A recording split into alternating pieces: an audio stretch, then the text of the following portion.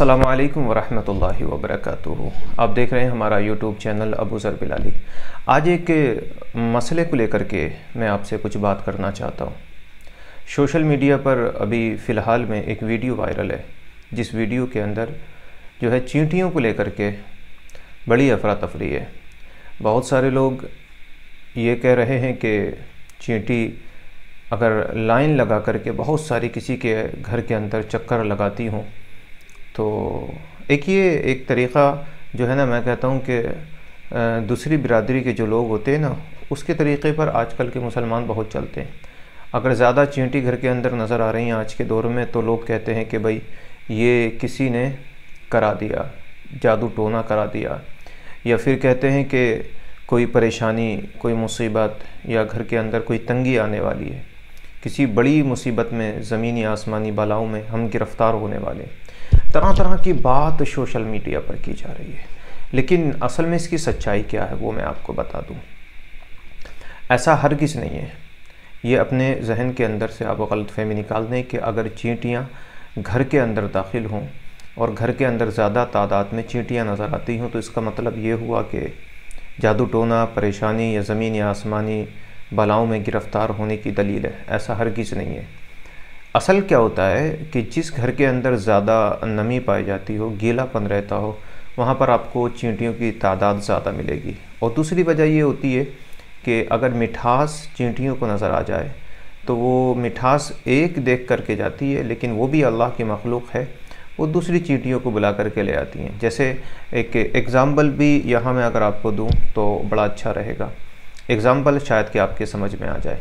आपने देखा होगा कि जो ये अशरफुलमखलूक़ात यानी इंसानी जो मखलूक है, इसके अंदर एक चीज़ देखी जाती है कि अगर कोई कारोबार कर ले, कोई भी कारोबार आप कर लें तो कारोबार करने के बाद में क्या होता है कि अगर आपको प्रॉफिट अच्छा है कारोबार में तो आपके पड़ोसी हों, आपके रिश्तेदार हों, आपकी बस्ती में रहने वाले हों, जब वो देखेंगे कि भाई ये तो दिन ब दिन तरक्की पकड़ता चला जा रहा है तो फिर दूसरा भी उस कारोबार को करेगा, फिर तीसरा भी करेगा, यानी एकदम भीड़ सी लग जाएगी उस कारोबार में। कोई भी तिजारत ले लें, कारोबार ले लें, कोई भी काम आप ले लें। अगर जंगल में भी आप फ़सल लगाते हैं और आपको अच्छा प्रॉफिट उसमें हुआ है तो जो दूसरी फ़सल आने वाली उसमें सिर्फ़ आपकी ही नहीं होगी, बल्कि बहुत सारे लोग उस फ़सल को लगा लेंगे वैसे ही चींटियों का मामला भी रहता है। हमारे अशरफुल मखलूक़ात में जो है, एक जलन रहती है कि भाई ये क्यों कारोबार कर रहा है, क्यों मेरे का पेट पर लात मार रहा है। लेकिन चींटियों में क्या रहता है, बड़ा इत्तेफाक है। उस मखलूक के अंदर।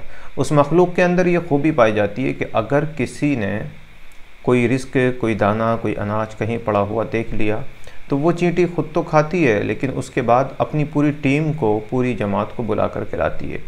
और पूरा ग्रुप चींटियों का आता है और फिर सारी चींटियाँ मिल कर के उस चीज़ को खाती है।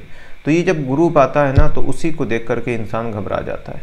तो ऐसा हरगिज़ नहीं है, आप इस चीज़ को अच्छे से याद रखें। कि ये गिरफ़्तारी होने की दलील नहीं है, बल्कि ये तो खुशी की दलील है। अब आप कहेंगे कि इसमें खुशी वाली कौन सी बात आ गई?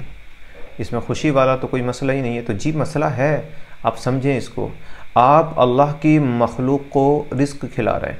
यानी मान लीजिए आपके घर में चीनी पड़ी थी, आपके घर में चावल पड़े थे, आपके घर में कोई भी ऐसी चीज़ पड़ी थी, मिठाई वगैरह, कि जिससे चींटियों का पेट भर गया तो ये सदका हुआ। आपने सदका खिलाया। आपने चींटियों को कुछ खिलाने की कोशिश की। तो इस चीज़ से बिल्कुल ना घबराया करें यह कोई जादू टोना, या परेशानी, या मुसीबत, या तकलीफ़, या ज़मीनी आसमानी बलाओं में गिरफ़्तार होने की दलील नहीं होती, बल्कि ये दलील अच्छी होती है, आपने अल्लाह की एक मखलूक को रिस्क दिया है। तो आप बखूबी मेरी बात को समझ गए होंगे। आपके जहनों के अंदर अगर इस तरह के सवाल घूमते हैं तो इनसे बचिए और अगर आप कुछ पूछना चाहते हैं तो कमेंट करके भी पूछ सकते हैं। और अगर मैंने कुछ गलत बोला हो तो आप मेरी असलाह ज़रूर फरमाएँ। इसी के साथ ये मुख्तर सी वीडियो का अख्ताम करते हैं। कल फिर एक नई वीडियो के साथ आपसे मुलाकात करेंगे इन जब तक के लिए इजाज़त दें। असलकम